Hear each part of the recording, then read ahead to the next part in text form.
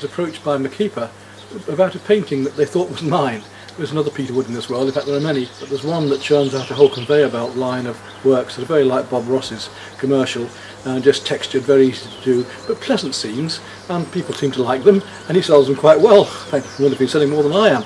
Anyway, by the by, I've been sent these over the past 20 years and even been offered his palette in the past, let alone his, his old paints and things. Do I want to buy them back, buy the painting back, how much is it worth? Very difficult for me to answer without offending anybody either because the paintings are commercial and the gallery and, an art dealer wouldn't, wouldn't touch them. I've made a collection of them and sent them back to people who ask me about them and give, and give the best advice I can for them. And simply say, look at my website and you'll see they're nothing like mine. In this case, they sent me one saying, we're going to auction this, what do you think it's worth?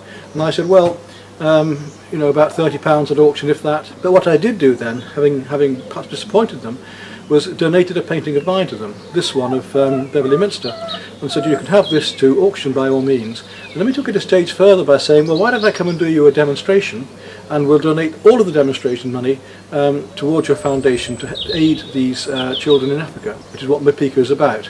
It may be that I even go and help them film there later to promote them. So this film that I'm doing now is about that uh, demonstration I'm going to do of a Dale scene hopefully using rollers and brushes and so on, and using a team that's local to their area where they're established and where they have their centres.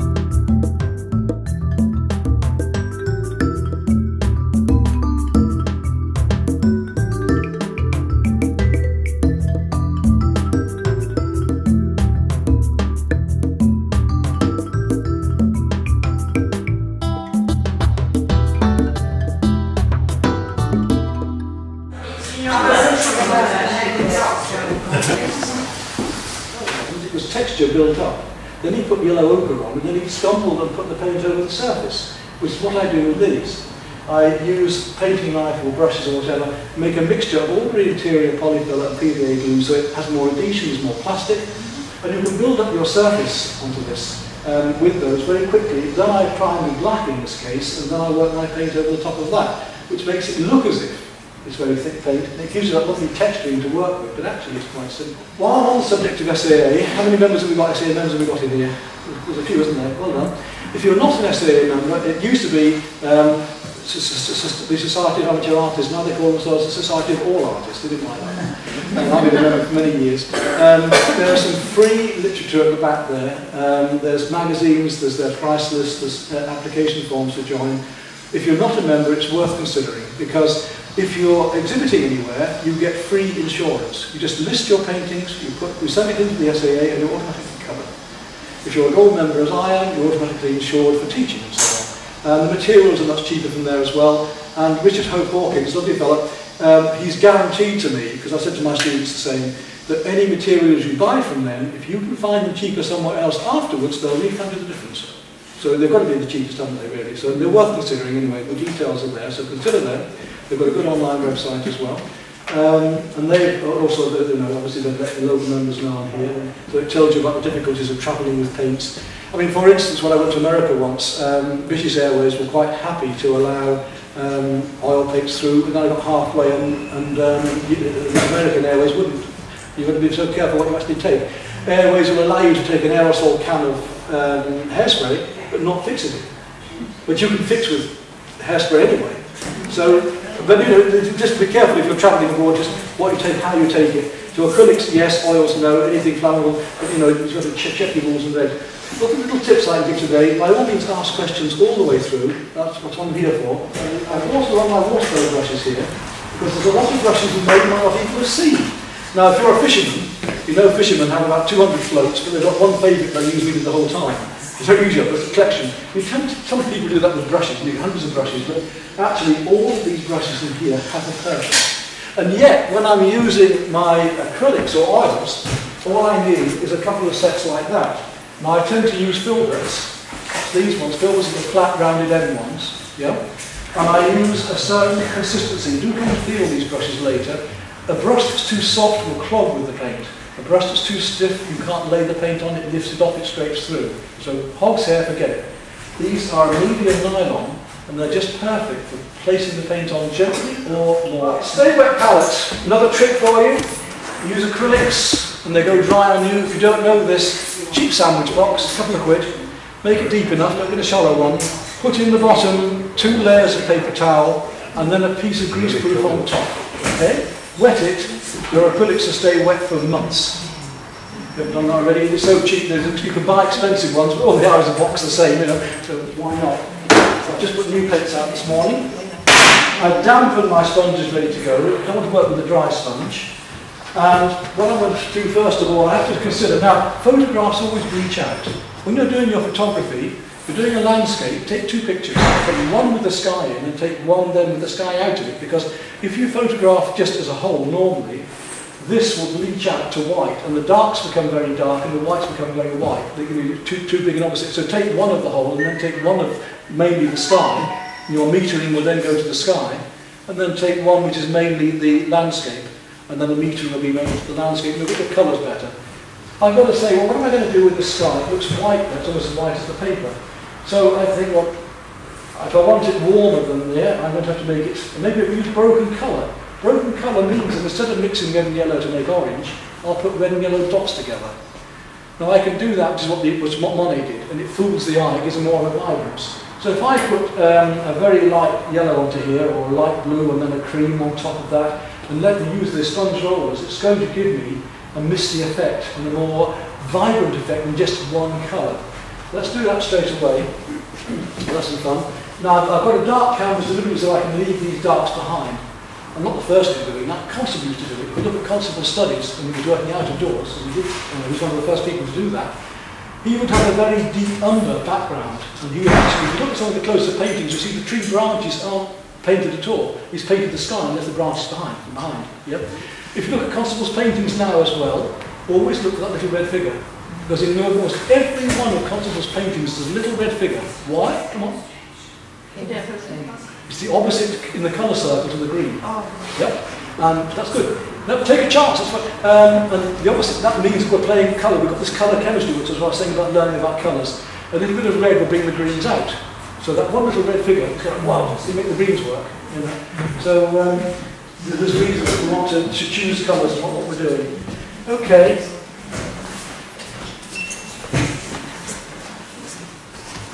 And I'm, let's see, what am I going to do? I'm going to start with a very, very light, light blue, I think, on this. A light turquoise, first of all. And, um, I'm going to put some yellow over that and make it sort of greeny sky.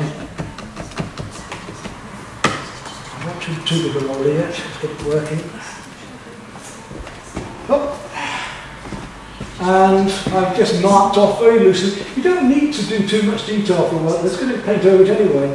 Um, just, you can see how lovely marks you get with the roller, and I can start to leave my trees behind, and immediately I've got trees, trees coming. So almost straight away I've got my drawing starting. But I'm going to leave some dark showing there. I've got to, obviously I've got paint up here as well. If I get in your way too much, do say. I, I went to see, uh, when I was in America, I was painting in Appalachian Spring in North Carolina a couple of years ago, and I went to see somebody demo, because I learn, we're always learning, we're always, none of us stop learning, do we? In fact, the more we learn, the more we realise we don't know, eh? Um, and I went to watch this artist, she was very good, but she was like this the whole demonstration. Nobody could see a thing, it was a shame, you couldn't really, you know, didn't like to say anything, but, so I'm just leaving little bits of dark showing through here to get my effects. First of all, you can see it's, it's very fast, the techniques. Just gradually build this up. And I can use it light so I can get the textures, and I can mottle the colour on, the, on here. I can use the get something mottled effect here as well.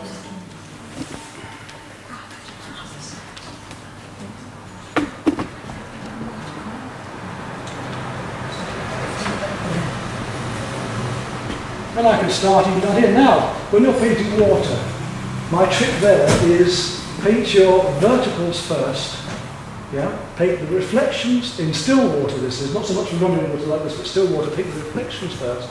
Paint the depth of the water, and afterwards do the horizontals. Not quite so easy with watercolour because in watercolour then you've got to um, use masking fluid and things and dry brushwork. But it will give you much better reflections, lovely water by doing the depth and the verticals first and then the horizontal bars. So just for fun, I'm going to just peel the light already, just, just a feeling of it. I'm going to put them both ways, just to sort of, I mean already you start to get a feeling of reflection just, just with one coming across another. Uh, it's quite quick. Very loose. Right, another um, thing that I teach is um, if you remember this now, I think you'll find it very useful. When you've got a very complicated scene especially, no matter how complicated it is, forget that they're dogs, forget that they're people, forget that they're horses, paint the whole thing in the same way. So, put the right colours in the right shapes, in the right places, relevant one to another, like making a jigsaw. So we're going to make a jigsaw. See, I'm keeping the whole painting going, yeah? All at once. So don't paint one, paint and finish it. The whole thing is going to evolve and, and finish at the same time. That way, you're in control. You can finish whatever you want. And it doesn't matter what it is, because if you're putting the right shapes and right colours in the right places, like a jigsaw, it's going to appear in the end. When I was a student and I was painting at home, I was doing my parents' garden with some standard roses. The garden looked fantastic, and I came to these roses at the end, and they wouldn't work. I couldn't get them to, they always look like those, you know, you get these catalogues, and the roses stand out like, because the photographs are so bright. And I realised what I was doing. I was trying to paint them differently to the rest of the painting. So I then treated them like facets of a jewel. I just painted each colour relevant one to another within that painting, and there the roses appeared. So, you know, and I've said this when I've uh, uh, judged exhibitions and things, you know, quite often people have put a dog and a person in afterwards, and it stands out like a sore thumb, because they've painted it differently to the rest of the painting. Keep the whole thing similar as a whole. Much better. It's a nice, easy way to work. It's lovely and loose. So I start loose and I finish tight. If I start tight, I'm stuffed, aren't I? You can't go loose again. Um,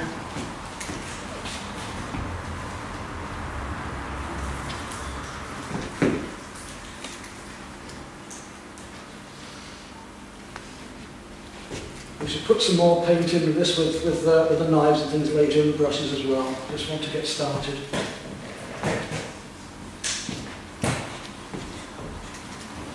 Right, now, um, I'm going to deliberately start to work in some,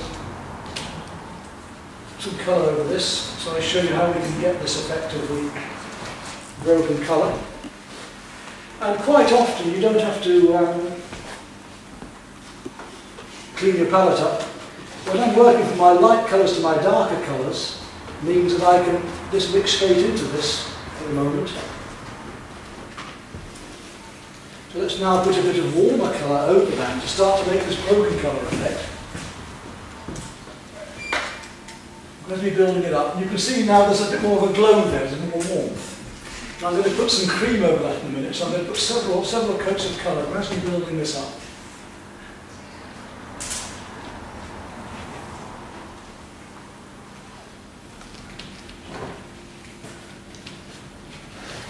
Going in two hours, so I may be working through my lunch break yet. right, right now I want to go, um, I'm going to put a lot more blue into that because I've now got to do this area in the background for the um, distant hills, so it's a slightly stronger blue. With a little bit of mauve into it. Let's see if that uh, well on my go in there again see if we can get this deeper mauve down here.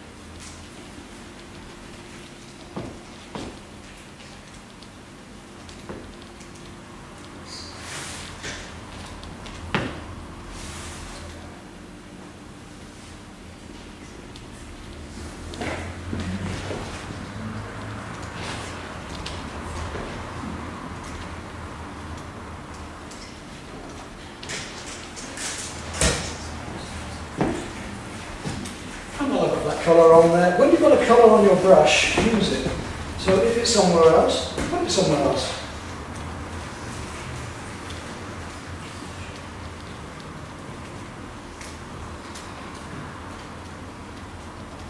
It's a lovely loose way to work. It's more difficult on a smaller canvas, admittedly, but some of these you can get quite small rollers. I'm going to say there's that little one there, which is got you know, quite small one. Paint on, applying paint can be done in so many ways. You could do it with your fingers, you could, you know, that's what I show when I've got my students, we can go through all sorts of ways of working. Where do you teach?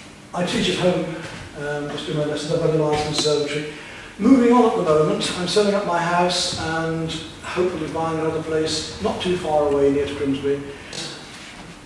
Already you can start to see the light coming. Right, I want to go back to my cream, so I'm going to wash my roller now. I borrowed a kitchen utensil here from the kitchen.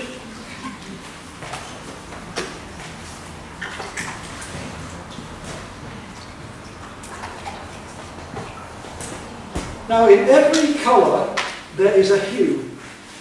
Hue is not the guy sitting next to you, who is warms and cools. So, in yellow, lemon yellow would be a cool, it's bluer. Yellow ochre would be a warm hue. In reds, cadmium red would be a warm hue, and rose would be a cool. In greens, your sap green is going to be warmer, your vermilion cooler, and so on.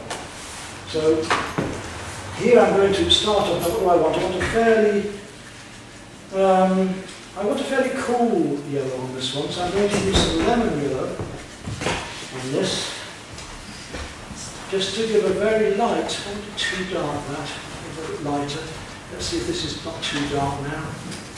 I'm just going to go over the sky now. I was talking about broken colour. I'll go over the sky, let's make it a little bit more light. Coming out, and that's just, that's better coming through, glowing through. Now that brings that blue out more. Get the effect of light there.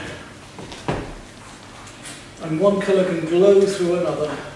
I want this late summer feeling of mid-morning light. And that can just come through here a little bit.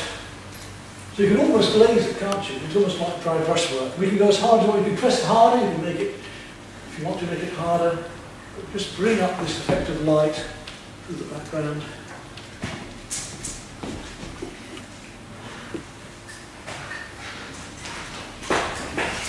Here. We can have the water just starting to reflect.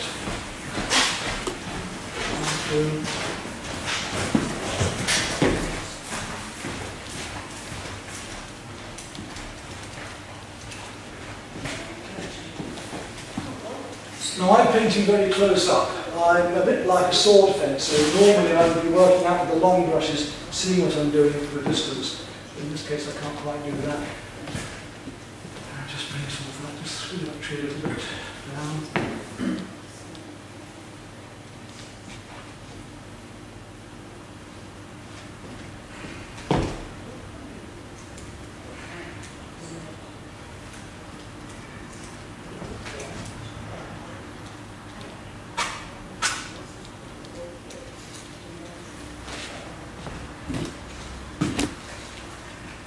Nice and quick. Now we want to start doing textures. Oh, my gosh, just start getting these colours in here. Let's start working deeper colours now then. So wash my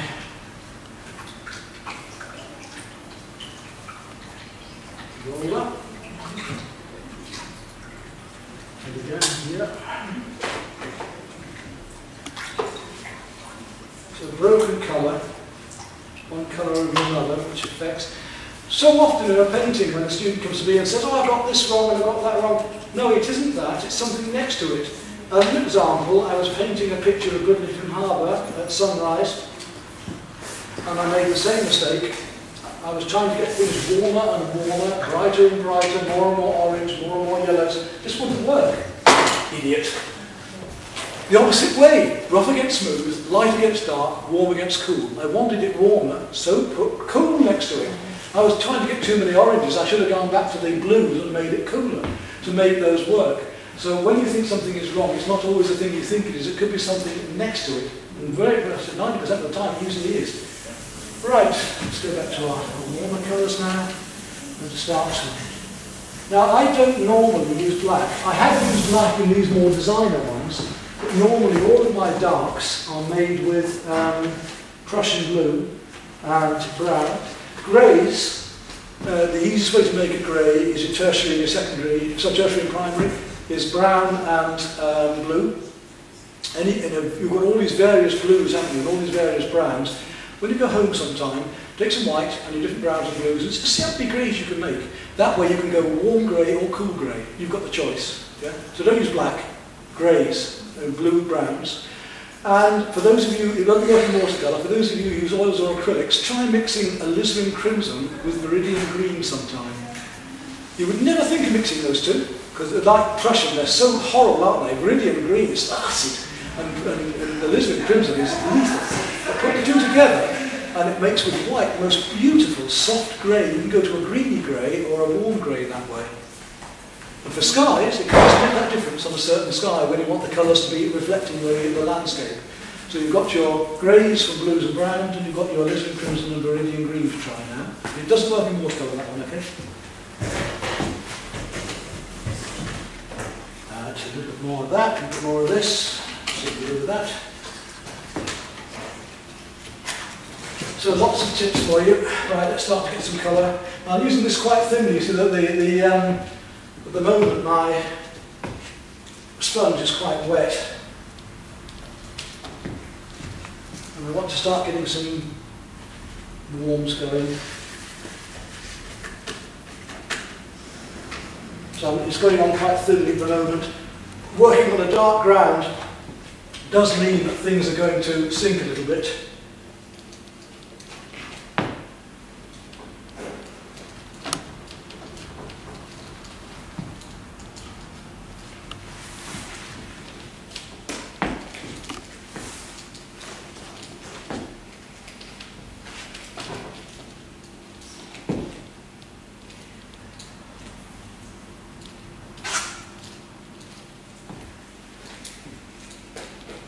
So it is an impressionist piece. You know, if I want to work up in more detail, I'll do that later. But I just work more and more and more into it until I get the effects I want.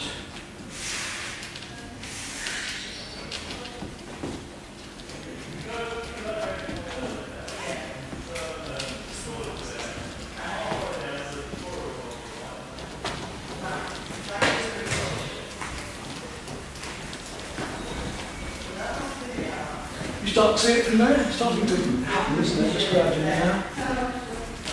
Gradually add more colour. A little bit now more blue. More lighter blue into it. Chip white.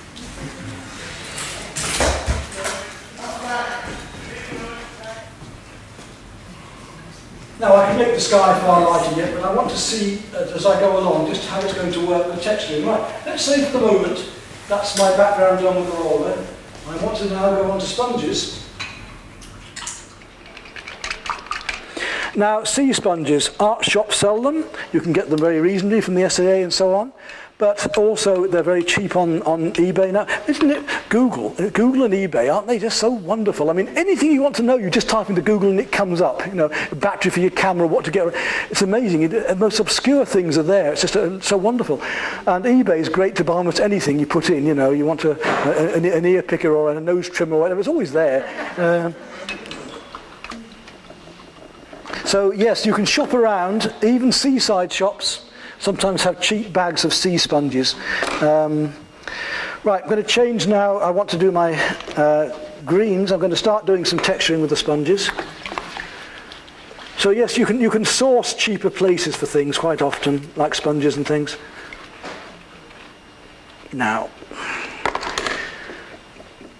again, I want to start with background colours. So I'm going to work from my deepest colours forward. I tend to do that when I'm doing oil painting. I start from my midtones, then I go down to my deeper colours and work out. I'm painting with light. This isn't paint, it's light for me. It's beautiful because whenever I put a colour on, I'm now painting light. So I'm going to get these bits of light that are reflecting on the leaves. I'm going to gradually work those up. We'll start with a fairly deep, um, deep green in the background there. I may do a bit deeper than that actually at the minute. I'll just go, just get that started off. Now, that's a nice sea sponge, so choose them carefully.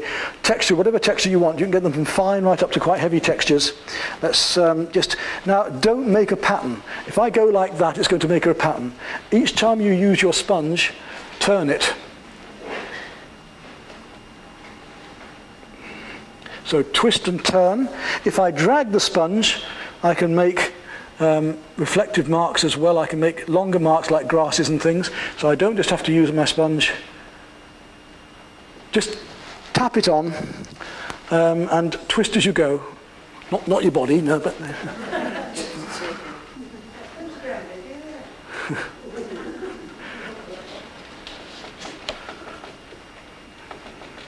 to here.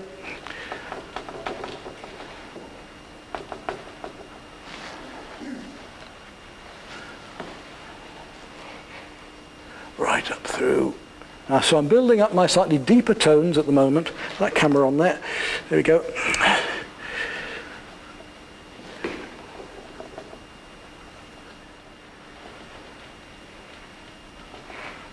I haven't finished with the roller yet. I've got a bit more work to do with the rollers yet.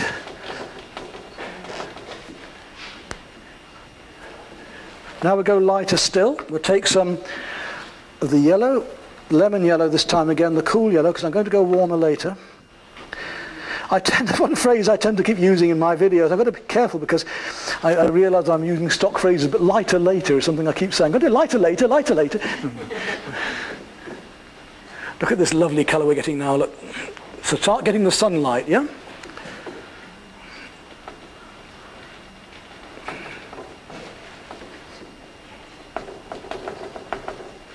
Just build up with these textures and tones. Shut up there, get up there, that's it. And I can drag it slightly to make slightly larger leaves here, look, just pull it across.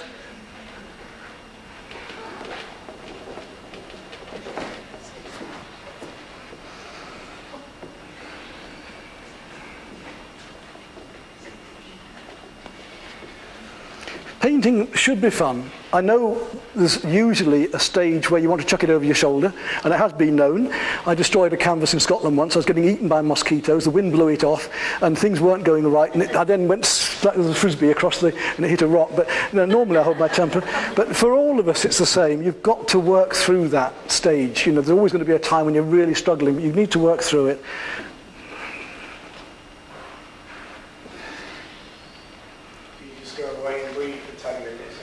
Something like that. no, you've just got to get on with it. And sometimes a painting needs to be really pushed as well. You've got to do something quite different with just not working. You think, well, put make the colour stronger, or you've got to really, really take a chance on something. Um, right, now I'm going to go to a warmer yellow. Okay, let's go warmer still. It's amazing how just a little bit of yellow has changed the, the light comes, doesn't it? I'm painting with light, that's right. Now, we'll start, well, deliberately now, we're going to go warmer still. I'm going to go to my um, brown, my yellow, uh, my um, burnt siennas and so on. Let's wash this off a bit. I'm going to need clean palette again. What time did you want lunch, by the way? How long have I got? One o'clock. One o'clock. Okay, so I've got another 20 minutes or so, fine, just so long as my timing is right. Right, so we'll start getting some, now yellow ochre is a lovely colour. Now watercolourists, how many watercolours have we got here? That's less than I expected. You know, normally it's, uh, I know, you, but there's normally uh, you know, more watercolourists than there is um, both. Multi, that's right, multi, great. Um, now I've forgotten what I was going to say now. Uh, I'll have a think about that in a minute. Um, Oh yes, transparent colours. Um, Hazel Soan, love Hazel Soan's work. You know Hazel Soan's work. Um, but she put me on to Aureolin Yellow a while ago. Um, you want to use in watercolour as much as possible uh, transparent rather than opaque colours. So um, yellow ochre is uh, opaque, whereas um, raw sienna is transparent. So raw sienna is nicer lemon yellow is opaque and rather dead, but aureolin yellow is beautiful. If you've never used it, try it. Another colour to get, cobalt violet. Beautiful light pink. You can't get away without the rose and the cobalt violet. I was trying to paint azaleas in, in Savannah about 20 years ago now. And I only had with me alizarin crimson and cadmium red. And I just couldn't do it. You needed the rose. You know, there are certain colours that you cannot mix. You must have. Magenta is one of them. Magenta is a superb colour. You can't mix a purple. You have to have a bought purple. But with magenta, you can get a reasonable purple. Magenta and cerulean blue, for instance, give you a reasonable one. But you can't do it with the other reds. It turns brown. So, you know, certain colours we need to know about. But, you know, I'm on the email like I say, it's all on the website, and if anybody has a question later, can't do it all today, email me, have a chat. Right, let's go down now to some warmer colours. Let's start to get, and I haven't even used the brush yet, wait till I get going with the brush, I'm mad. Let's start to see some of the, oops, a little bit too bright that. A little bit more brown into there. A wee touch of purple into there. Let's bring it down a bit. There we go. Try that one, that's better, yep. We'll just start to get some of these autumn leaves coming down, going on through here in the background. Right, so almost finished with my sponge. I want to go back now with the roller and just touch a few bits up here and there. Um, but I may do a bit more with the brushes. Now, they say the colours will sink a little bit, so as I'm building this up, you can see now lighter and lighter. And as I put lighter, the dark has become darker. So cool against warm, rough against smooth, light against dark. We're playing all of these effects.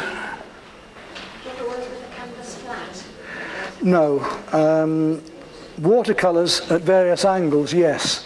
But, uh, well, having said that, there will be times, I mean, when I, when I did the spraying on that, yeah, because you need to be spraying downward onto it rather than with, with the dishes and things on.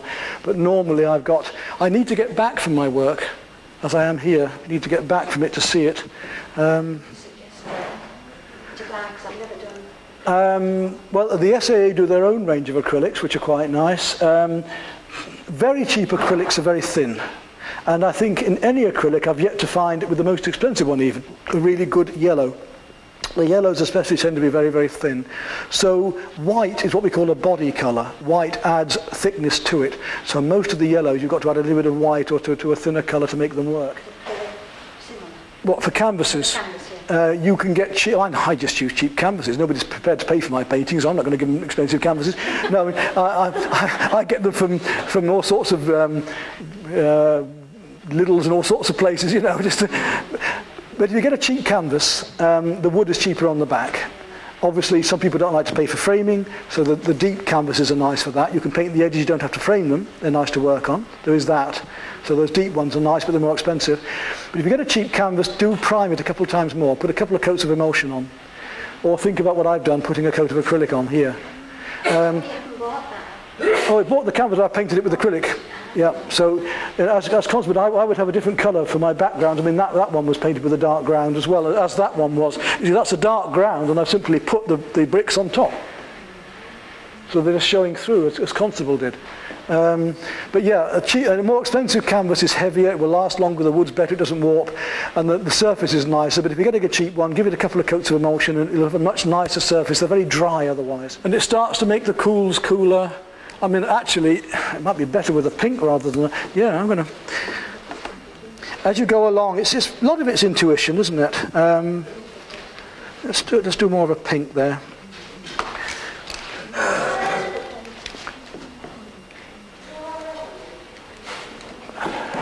Coming up through there.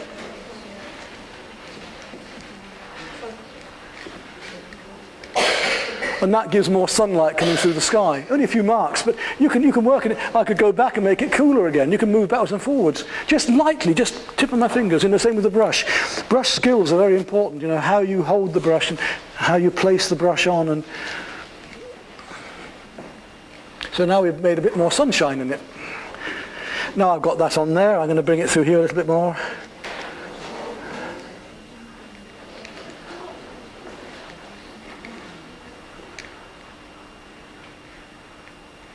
We'll just bring out these trees a bit with this.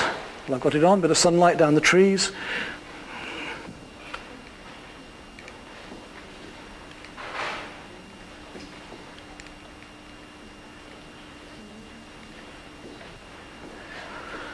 Okay, back to my brush.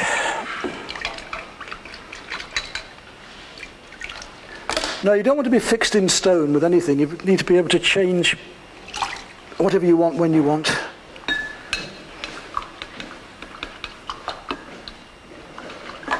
Right, I've used a big brush for the moment, just for mixing, and I'm going to now go down in size a bit. Now, watercolour brushes, if your watercolour brushes get bent or they're out of, um, you know, put them in boiling water, literally boil them for a while, and it softens them right down, then reshape them and they'll dry back into, it almost renews them, okay? But yes, ordinary paint solvent on nylon brushes like that, and you can bring them back quite well. Don't leave your brushes stuck in water or in terps. Two things happen. It softens the glue around the ferrule, and it expands the wood so the ferrules can actually break. Uh, not, not, not good news. Okay, now if I want to start painting leaves, so um, leaves, I think, are a bit like trees are like explosions, uh, atomic explosions. Acorn hits the ground, grows up, comes out into the branches, forms a parasols, comes down, drops in autumn. Yeah. So when I do my leaves now, I want to um, start exploding these outwards with a brush. I'm going to use it sideways, and I'm going to just start to bring out these these leaves, exploding, cascading down a bit like a waterfall one colour over another, getting lighter and lighter, gradually lighter and lighter.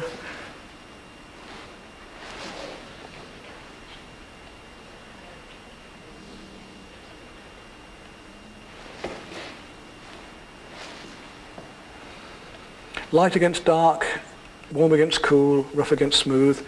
So I'm going to do a few darker leaves up here in a minute to show. Go to a darker colour, I'll take some of my Prussian blue, and we'll bring a few darker shapes of leaves through here. So one thing against another, light against dark, and you see the, the effect? Yeah. We're constantly playing counter tone and counter colour. Right. Different brushes for different jobs. Let's move to a rigger if I can find one. There we go. When you're using your brushes, try and mix with a stronger, heavier brush. Don't mix with your fine brushes. So if I'm going to use a rigger, I'm not going to use that to mix with because I'd ruin it. Um, but I will mix with a, across to here now, a bit of Prussian blue and some, a little bit of black. I'm going to use black this time because I've already got black on my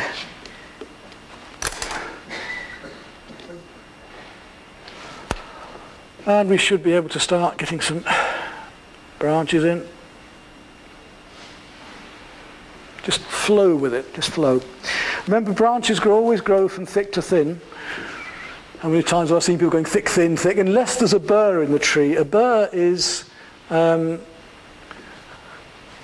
where there's a cancer in the tree, and then it will grow larger, and that's where you get those wonderful um, veneers and things for uh, marquetry because they come from the burrs of the tree.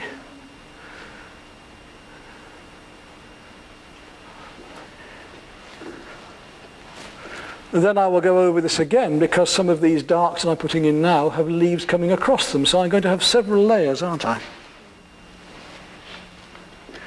And don't forget that your paint is drying all the time, even in the palette, so you've got to keep adding water. When you're mixing watercolours, don't do that. When you're doing watercolour in a wash, don't keep going back to your water and then going back to your wash. Every time you do that, you're diluting it. So, but with, with oils and acrylics, quite different. You, you need to keep that wet. 12. Um, I did a picture if you go to my website, you can actually see my paintings from the age of 10 right through to today. I've kept a whole record.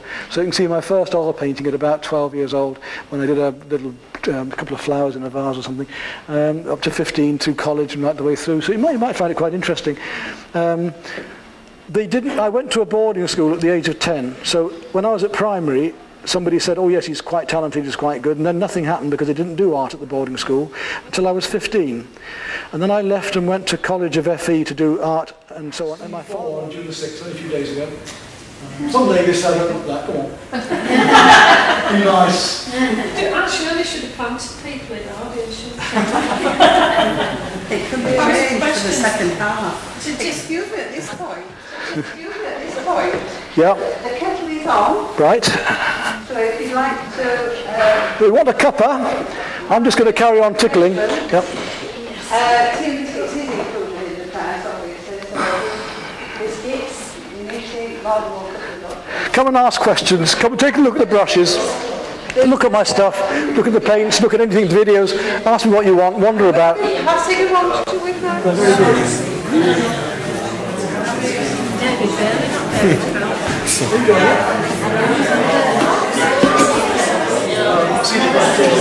many ways of doing it. That's halfway. We're only halfway. Thank you. Right. Yeah. you waste a lot of the, the paint because yeah. Well, I mean, you do, but I are they mean, expensive the tubes? not that bad. Aren't they? But I mean, they go a long way, and, and they say keep them this way, they'll last as well. But it's no good putting little bits out. The amateurs just put that much. You can't. If you're going to paint loosely, you need to have plenty of paint out. Right, I'm going to move to a painting knife now. Now, there's a difference. There's a big difference between a painting knife and a palette knife. I get a little bit irritated on this. I don't know why, but I've got a phobia about it. But a palette knife is that. And you can see the difference. That's straight and that's got an angle like a cement trowel. This is a painting knife because my fingers don't touch the canvas. That's a palette knife for cleaning the palette because it's straight, it's flat. Two different things, painting knife, palette knife, yeah? Even the experts don't think, um, so you don't really need one of those. Uh, your fingers don't touch anything, yeah?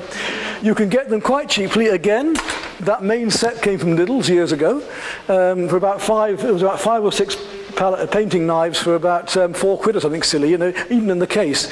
You don't have to spend lots of money to get some of these things. And different shapes. This one actually is a Bob Ross one. Um, it's one of my favourites, but I like that particular shape because it's so versatile. But you've got long ones, little ones, you know, little triangle, all sorts you can build up. And you'll find different uses for them. Um, if you want to use an edge, then you can make a, a line along something, or you can use them downwards to scrape and get the effect of across down. You see dry brushing almost across, quite effective. It would be easier if I had a flat palette now, but th- this palette's so so knackered. It's um, but just going to going to put the lights in. I'm going to put my mid-tones in first and gradually work through. I'm doing- some vertical marks and some horizontal to try and get the feeling of the water. See what's coming to life straight away. Yeah. Right down to here. We start to put the foam in. We can we can just we can twist it and put some foam in coming down here. Look. Good fun, isn't it? Yeah. Different techniques you're seeing. So you've seen sponge roller, you've seen sponge, you've seen brush, and now I'm working on the painting knife.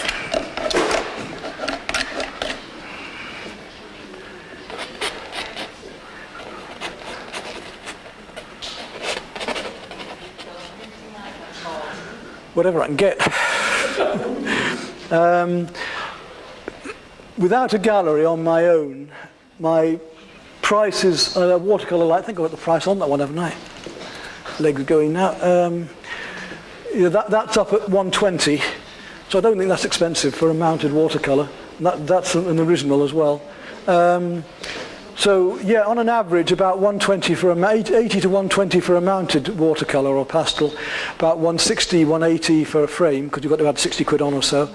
Um, big ones like these, I mean that one I, I've got up at about 450, I think, um, which I don't think is too high for that even without a frame because it's you know it, that one would go at about 280. So I'm, I'm not on the huge I think I'm, I'm reasonably priced for what I'm doing. So we can drag it across and make um, more textural work of it. We can.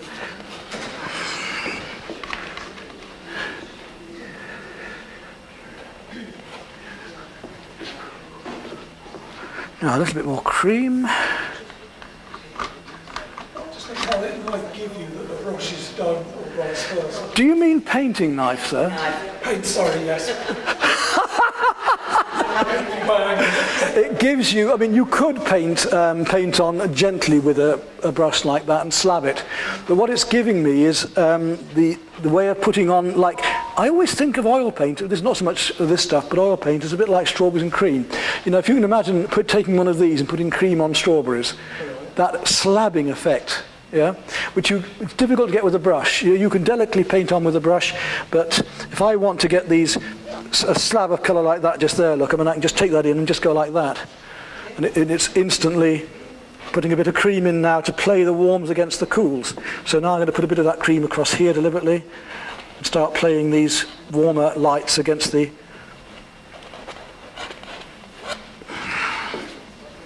and immediately the other colours are changed by the one next to it. So that's why I've got that colour video because it's, it's vital that you understand about colours. I know it's technical, but um,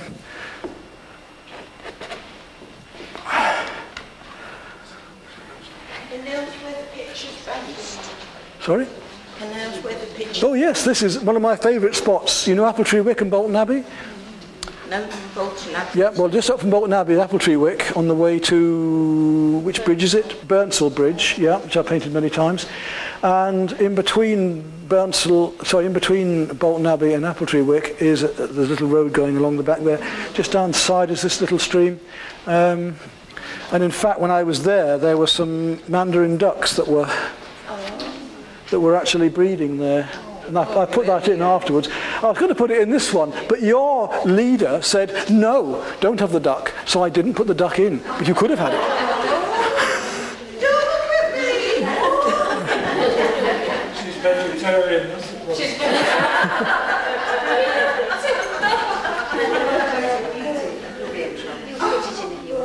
Sorry, Shane. No, what I would have done was painted the duck beforehand, you see, so it would just be there to paint around, because I wouldn't have had the time to do it today. But I did a demo for... But I'm going to finish in a minute because I think, I don't want to overdo this one. I think it's just nice and fresh as it is. It's just a nice, lively, lively, nice painting, no, lively, loose painting. Um, we'll have a little bit more light just coming through here. You can go back in the end and put light back in again. Look, that's one of the things about acrylics. You remember you're working over. You can put light over dark or dark over light. You're not stuck as with watercolour. It's hard to go back again. But here, I can go back again and put my colours in. So I'll bring this green down here to give more coherence through the whole thing.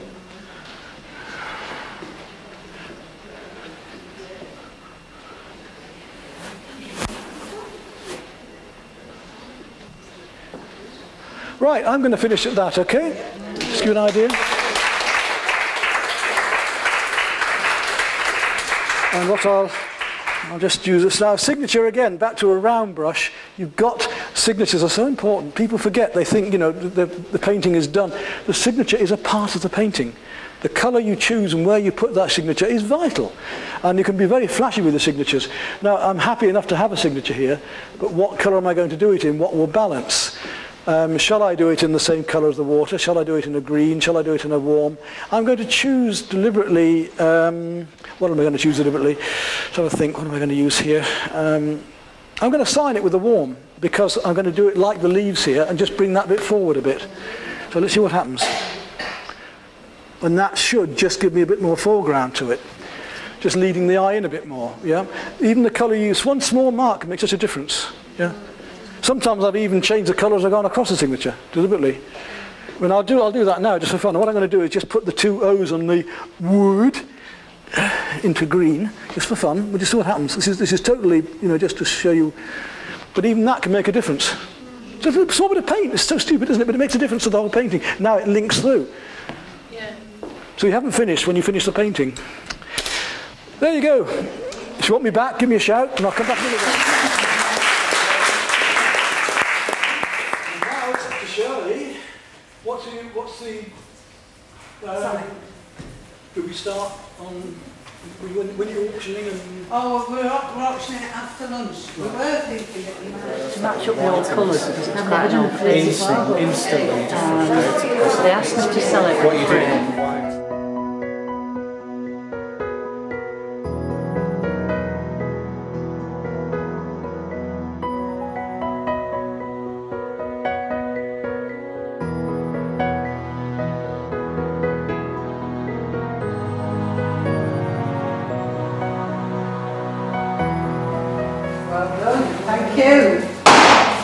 and man made a tax of it. Yeah, well, yeah, you could have, yeah. We're going to start to taste it then. Because that's what we're offered. And I'm sure that person would have. So is there any advance on eighty pounds this beautiful painting? I mean, just you take out of the canvas. Just peels it. You know, before you'd even had a cup of tea,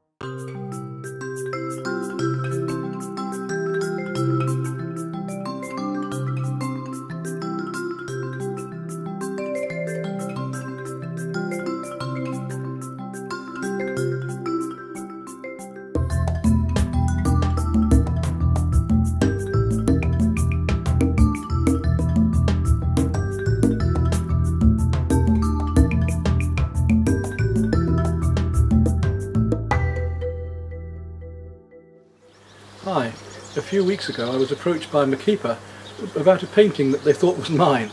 There's another Peter Wood in this world, in fact there are many, but there's one that churns out a whole conveyor belt line of works that are very like Bob Ross's, commercial, and just textured, very easy to do, but pleasant scenes, and people seem to like them, and he sells them quite well. I wonder if he's selling more than I am.